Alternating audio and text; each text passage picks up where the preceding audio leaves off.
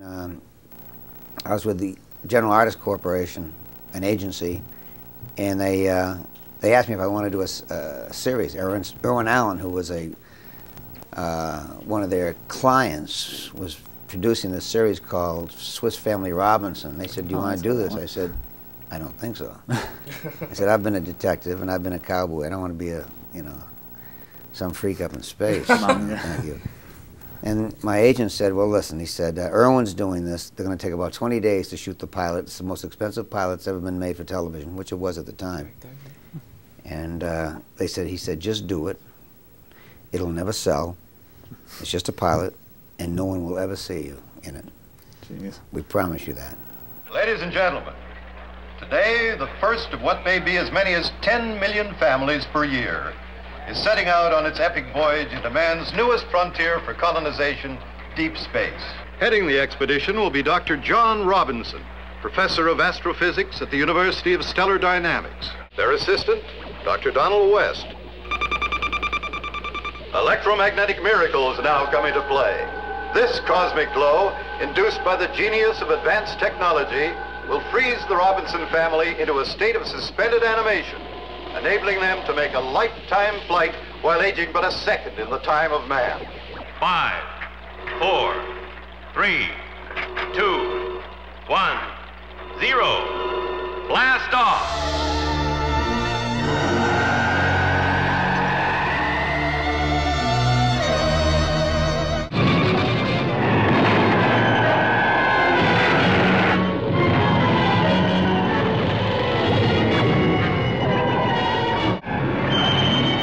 I like doing the series when I was doing it particularly, you know. Uh, it was all right. I just had higher hopes for myself at the time as an actor, you know. Maybe I was, you know, asking for too much. But uh, as it turns out, I mean, I mean, with the detectives and Johnny Ringo and the actor Liza Minnelli and a hundred guest shots on television, you know, I mean, what do people know me for? Lost in Space, which is that's fine, you know. There's a lot of great stuff out now too. They got kits now of the uh, Jupiter. Oh, I saw that. They're really good. I've seen, you know. Yeah, the Fire kits, and they got these uh, postcards now that are really good. They got great, great trading cards. They're coming out with little doll figures. Of course, our original doll figures uh, sell for uh, ten thousand dollars. The Right ones, now? yeah, the original back came from Wow. '65, if you can find them. Mom, the go trading home and in the watch. trading cards, yeah, the trading present. cards are worth a fortune. The lunchbox, all those things that were originally came out are, are worth, you know, up in the thousands of dollars. As a matter of fact, when I'm at shows signing things, people will come in with, they'll say, "I've got your suit." I know it's not my suit, but I'll make it feel good. And I say, "Yeah, okay." I sign it for him, you know. Or yeah, came in through with some boots. These are Guy Williams' boots. Will you sign them? You know, Guy- Guy's dead. You know, I felt kind of funny, but you know, so I signed my name on Guy's boots. You know, he said, "I just paid two thousand dollars for those boots." I said, "Okay." I said, "I've got a pair of sneakers here. if you're interested, you know, you have You about pay twelve and a half Side job. bucks." Um, out of all the shows, what was your most memorable one? Like, what, what's the one when you first think of going back there, and what what show sticks out like immediately comes to mind? Of all the shows I've done, or all just the Lost in episodes? Space? The Oh, episodes Lost in of Space? Lost in Space. I mean, don't. Well, yeah, I always say this because it's true. You know, it's the uh, Antimatter Man was was my favorite show because it gave me a chance to play a different side of me. You know, I could be Don West, and I could be this evil guy.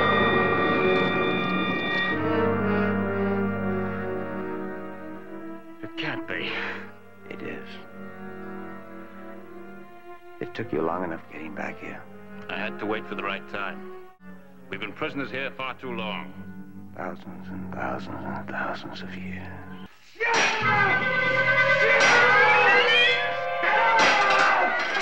I like playing evil guys, you know. Playing evil guys, that's, that's good, you know. It's more fun. That was. Although I was, I I watched that, and I, it was pretty cliche of a guy. You know, I had the beard and the bad eye, you know, and I was like, ah, you know, give me him, you know. Classic bad guy. Probably a little overacting, but but I like doing They loved evil it back guys.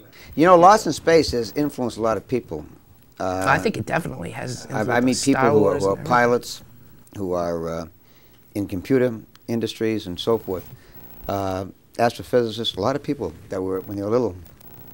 They caught on a Lost in Space, and it inspired them to get involved in some programs that have to do with space. This, you know, Yes. Okay, give you one final question here. Okay, how do you feel about what? How did you feel about Matt LeBlanc? Like I, playing great. Did really, yeah, yeah, yeah, yeah. He was a terrific Don West. I thought he was. Uh, He was terrific. I thought he was did, excellent. He, he did just what I would want you know myself to do if I were at that level and if I were doing that kind of work today. I think everybody in the movie who portrayed the characters, of course, they had better lines and they had more rehearsal and they had better things to work with, was uh, was better than anyone in the original series, except possibly for. Uh, in fact, they all were. I was going to say, except possibly for Billy Mumy. Joe Jackson was really good, and maybe he was better than Billy. But I think that everybody was uh, better than, than we were. Of course, it's, it's you know what, why? Because it's like talking about uh, you know Michael Jordan and, and, and, and Karl Malone and these guys as as basketball players, you know, and comparing. You know, they're better than Bob Cousy and Jerry West was in those days. They just are. Then they That's- try to come and act And we've and progressed. that, we've know, progressed to that, you know. And we have to give credit. We have to look at it and give credit. To answer your question, yeah, Matt LeBlanc. Uh, I did a good job as Don West when I did it in those days, but Mm-hmm. uh, Matt LeBlanc uh, taught me.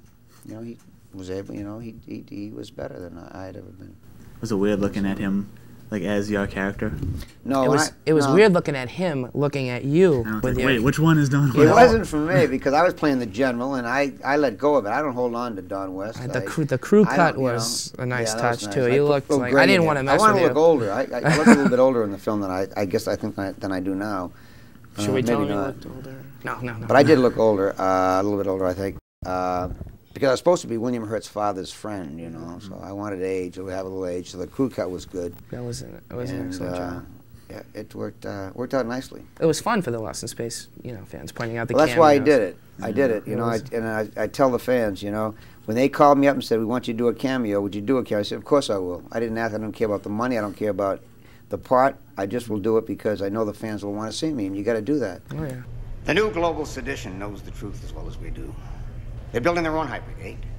They hope to colonize Alpha Prime first. If they're successful, Western demons like you and I, Major West, will be left on Earth to die. Captain Daniels doesn't have the flu, does he, sir? Captain Daniels was murdered in his apartment last night. The flu story's a couple we've had the press. I flew with Mike. We should pulse blast their bases. A decisive strike now. My squadron is alert status and Your rescue stunt was foolhardy, Major. I had a friend in trouble. So you endangered a $10 billion spacecraft. Disobeyed a direct order because of a friend. Yes, sir. I did. Sir. He'll do. Congratulations, Major. You're the new pilot of the Jupiter mission. Disappointed that Billy Mumy and Jonathan Harris had to have egos that would say to them, "Well, unless I get a better part, or if I, you know." Really? Or that Jo- was. Well, yeah, Jonathan I was looking, said. I was wondering Yeah, that. Jonathan said, "If I don't, if I, if I don't play Smith, I don't play anyone." Well, he's not going to play Smith. He's 82 years old, you know. But uh, and he could have played the part that Harris had, uh, not Harris, uh, Edward Fox had on the on the the Dunes Mhm. with uh, Gary Oldman, remember that character that, yes. that hires him, and then comes in the holograph figure that makes him shock some. I remember that. That's the part that Jonathan would have played. It would I, I would have liked to have put Bill uh, Mumy as the future Will Robinson Yeah, in that's the what he wanted to do. I thought that would have been great. Yeah. I had. I had no idea who the other guy was. Jared Harris, Richard So- Harris's son. I'll tell you why they didn't do that. The only reason they didn't do it, they wanted to do it. They felt, it, and he wanted to do it. They didn't do it because they felt that at that moment, people might it might break the moment of the film where they might say, "Oh my God, that's Billy. He was the original, Mm-hmm. you know, kid," and break that moment because it was a pretty suspenseful moment. But I think most people feel the way you do. Okay. Yeah. Great. Well, we're gonna just uh, we're gonna wrap it up now. But before we go, we'd like to give Lost in Space top, of the, cheese. starts William Hurt and uh, Gary Oldman, who did a beautiful That's right. job Matt as Dr. LeBlanc. Smith. Matt LeBlanc Heather Graham, Heather Graham. Mimi Rogers, Tracy Heather Graham. Lacey Chabert, and Mark tell. Goddard.